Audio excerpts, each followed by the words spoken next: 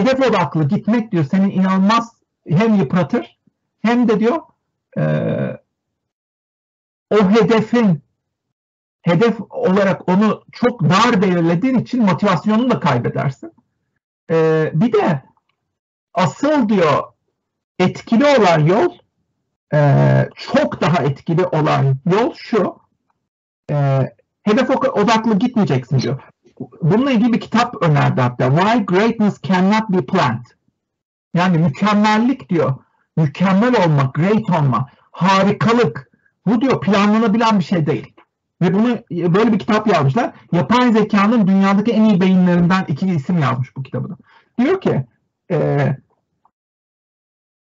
goal paradigmasını denemişler. Bir, sürü deney yapmışlar. Hedef odaklı yaptıkları zaman yüzde yedi buçuk başarı elde etmişler. Hedef, hedef, hedef, hedef.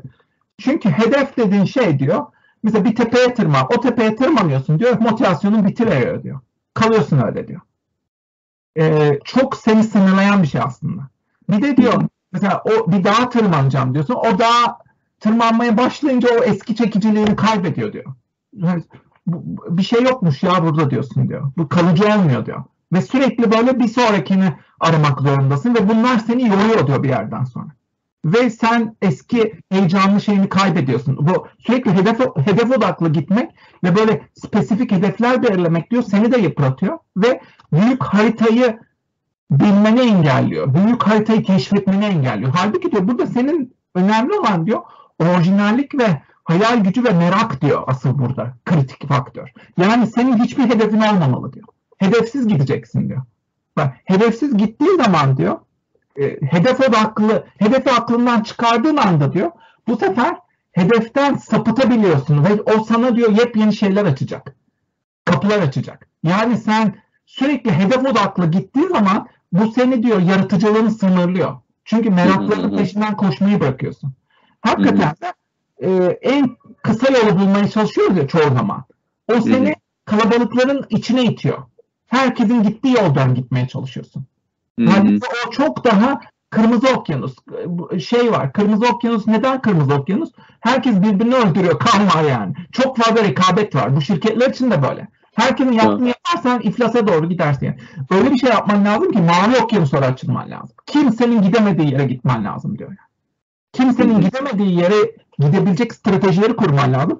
Burada da diyor yeni bir paradigma ihtiyacım var. Stepping stone paradigması bu da.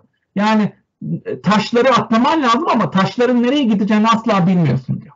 Bunu bilerek hareket et. Yani bilinmezliğe doğru yolculuk yapmanın heyecanıyla meraklarının peşinden alakasız görünen taşları atlamaya devam etmen gerekiyor diyor. Bak bu çok enteresan. Yani e, Steve Jobs diyor ya sen connecting dots'u hani noktaları birleştirmeyi sadece yaşadıktan sonra geriye dönüp yapabilirsin yaşamadan sen neleri nereyle birleştireceğini asla bilemezsin. Dolayısıyla sen kader, kader yolculuğunda bilinmezliğe bir sürü şeyleri yelken açıyorsun. Mesela bir sürü insan vardır ya böyle dünya çapında deha. Nereden nereye gideceğini asla kestiremiyorsun mesela. Elon Musk da öyle biraz. Oradan oraya atlıyor, oradan oraya atlıyor, oradan oraya atlıyor. Ve bu atlama taşlarının nereden nereye gideceğini asla kendisi de bilmiyor. Ve tahmin edilemez şekilde atlamaya devam ediyor. Bazen batırıyor, bazen, bazen işte boğacak gibi oluyor. Ama o kadar fazla deney yapıyor ve o kadar fazla sıçrama taşı kullanıyor ki mavi okyanuslara çoktan açılmış oluyor. Kimsenin açılmadığı kadar uzaklara açılmış oluyor. Anlatabiliyor? Ama insanların %90'ı ne yapıyor? Hedefim şu, burası, burada kalıyor yani orada. Halbuki uzun vadeli 100 sene sonrasında 10, 15, 20, 30 sene sonrasında düşünerek Böyle bütün alanlar nasıl birbirleriyle ilişkili, bütün zekanı, hayal gücünü, merakını kullanarak böyle alakasız deneyler yapma, yüzlerce, binlerce deney yapma bu çok bambaşka bir Rönesans insanı gibi yani. Bu bambaşka bir disiplin yani. Adam biraz bunun peşinde yani. Dolayısıyla böyle hiçbir yerde görmeyeceğim. Mesela üniversitelerde de böyle bir şey yok. Perspektif yok yani. Çünkü evet, disiplin, herkes kendi disiplininde körleşmiş yani. Herkes kendi uzmanlığında körleşmiş. Uzmanlık demek körlük demek aslında. Yani. Sen eğer hakikaten meraklıysan o uzmanlığın dışına çıkman gerekiyor ve her alanda bir şeyler bilmen gerekiyor. Zaten çok böyle çok etkili ve çok başarılı girişimcilere bakıyorsun. Her şeye atlayan tipler yani. Richard Branson'a bak. 400 tane şirket kurdu bak. 400. Birçoğu da battı etti. Önemli değil yani. Ama 400 tane kurdu ama. Elon Musk'a bak. işte Jeff Bezos'a bak. Atlamadıkları şey yok yani. Ve 10 bin tane deney yapacağız biz diye gidiyorlar. 10 bin tane sıçrama taşı yani. Ve nereye sıçrayacaklarını asla bilmiyorlar. Google da böyle mesela. Google'ı Google yapan enigma yani. Nereye gideceğini, ne yapacağını asla bilemiyorsun. Kaliko'yla ömür uzatmaya milyon dolar, milyar dolarlar yatırıyor Kaliko'yla. Google. Hayal edebiliyor musun? Ya da işte robot teknolojilerine, işte e, yapay zekayı, yapay zekanın geleceğine milyarlarca dolar yatırıyorlar ya. Olay Google Search değil anlamadın sen bunu yani. Olay çok daha büyük ve alakasız yani healthcare, sağlık sistemindeki en büyük atılımları Google yapıyor, Apple yapıyor, işte Amazon yapıyor yani. Hepsi sağlık sektöründe birbirlerini boğacaklar yani. O kadar ve sağlık sektöründe ne işleri var bunların yani? Düşün yani. Hani, e, alakasız görünen ne kadar alan varsa işte bak e, adam çıktı bütün otomotiv sektörünü darmadağın etti Tesla'yla. Hepsini üst üste ekle ekle ekle Tesla tek başına daha değerli hale geldi.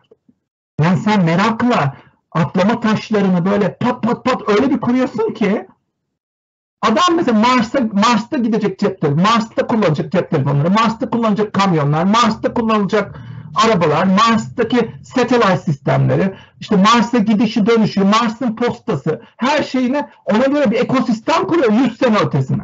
Sen bunlarla nasıl baş edeceksin yani?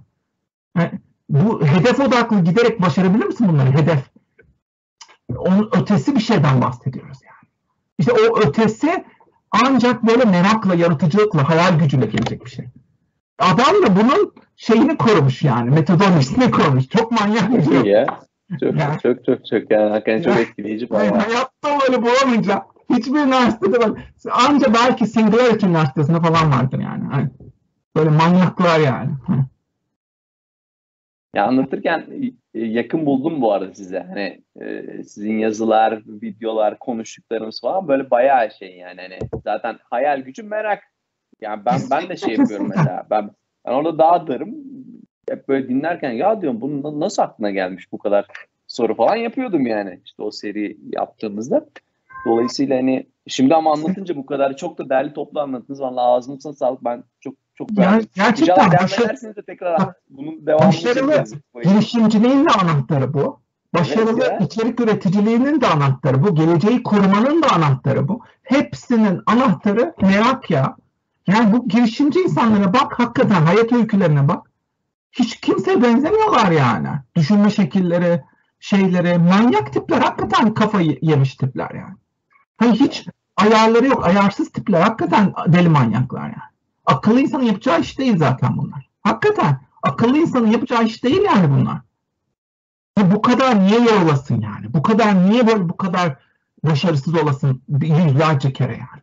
Niye ne yani ayrıca? Ya bir, demek ki bir şeyleri var. Hani böyle ve bunu ancak ve ancak şeker dükkanındaki çocuk çikolataya ne kadar iştahlıysa böyle ya da işte kumar bağımlısı e, bir insan kumara ne kadar iştahlıysa neyse bunu bütün kötü alışkanlıklara şey yap uyarla yani. O kadar böyle büyük bir tutkuyla ve merakla geleceği keşfetmen ya da işte bu alanları keşfetmen gerekiyor. Başka türlü o kadar zor ki çünkü bu alanları birleştirmek, problemleri çözmek o kadar zor, o kadar bilinmez ki e, akıllı insan başı, yapacağı iş değil yani. Hakikaten delilik gerekiyor. Deli cesareti gerekiyor. Delinin hani bir kuyuya sen taşı atman lazım yani. Bir taş da değil, yüzlerce taş atman lazım. Bu taşların da yüzde 99'u boşa gidecek. Bunu da biliyorsun yani. Bak bu çok manyak bir şeyden bahsediyoruz yani. Hakikaten mesela içerik üretimi de böyle yani. Mesela uğraşıyorum, yoruluyorum, yazıyorum, çiziyorum, bakıyorum 10 kişi okumamış bile ertesi gün. Yani o kadar şey ki böyle yapılmayacak e, bir iş ki aslında yani. Hani bu patinaj yapıyorsun tekrar ay ben niye uğraşıyorum bu kadar ya diyorsun yani çoğu zaman yani. Hani ne, ne zorun ne yani. İşte onu devam ettirebilmenin tek şeyse içinden gelecek o merak, o ateş, o e, içten motor yani. O sürekli yanacak. Başka türlü geleceği de kuramazsın, girişim de yapamazsın. Bu girişimler e, zaten ekseriyetle batıyor yani. Her şeyi batıracaksın yani mecbur. Kahramanın yolculuklarına bak. Kahraman %99 batacaksın, defalarca batacaksın. Burnun çamurdan çıkmayacak. Hep öyle değil mi ya? Yani bu şeyler de böyle yani. Girişimciler de böyle. İşte geleceği kurmaya çalışanlar da böyle. Hakikaten bambaşka bir şey düşünme stratejisi lazım yani. Çok zor işler. Hakikaten çok zor. Yani şu anda insanlığın geldiği noktada o kadar manyak bir yere savruluyoruz ki ve bunu algılamaktan o kadar aciziz ki eee, ve kitleler o kadar aptal ki giderek daha da Ve aptallaşıyor ki aptallaştırılmış ki. ha, o kadar şuursuz bir yığınlar, kitleler var ki yani sen ciddi mesela bir meseleye 30 seneni versen hangi yani yü- bir milyonda bir kişi başarabiliyor. Bu 30 sene heyecanını, tutkunu devam ettirebilmek. Hakikaten adamın söylediği şey buydu yani. Sen 30 sene diyor bir meseleye gönül verip de 30 sene devam edebilmek. Bunu milyonda bir başarı. Bilim insanlarından, işte sanatçılardan falan 30 sene vermek bir şey kolay mı ya? Sıkılırsın çünkü yani. Bırak şeyi en ufak bir şeyde ne kadar çok sıkılıyorsun yani. İşte onun için uzun vadeli düşünüp de böyle yılmadan hayatta kalabilmek, ben buradayım diyebilmek, bin kere yıkılıp bir daha yapabilmek, binlerce deneye devam edebilmek, o anca o işte şekerci dükkanındaki çocuğun coşkusuyla, merakıyla yapılabilecek bir şey. Başka türlü hayatta kalamazsın Evet. bu mücadele. Yani işte bunun metodolojileri falan çok enteresan. Başka hiçbir yerde yok. Dolayısıyla Marka Simons'ı okumanızı tavsiye ediyorum. Birkaç link de atalım buradan. Yani bu Yapalım. eğitimi de Ama inanılmaz. siz de eğitime devam edin yani. Ya Vallahi. işte şeyim yok, vaktim yok. Grade, çünkü bu çok yoğun bir dönem. Vaktim yok, hakikaten hakkını veremem. Belki daha ilerikine katılırım. Bu haftakine bile yetişemedim. Yani Lazım, lazım. Çok iyi. Ağzınıza sağlık. teşekkürler.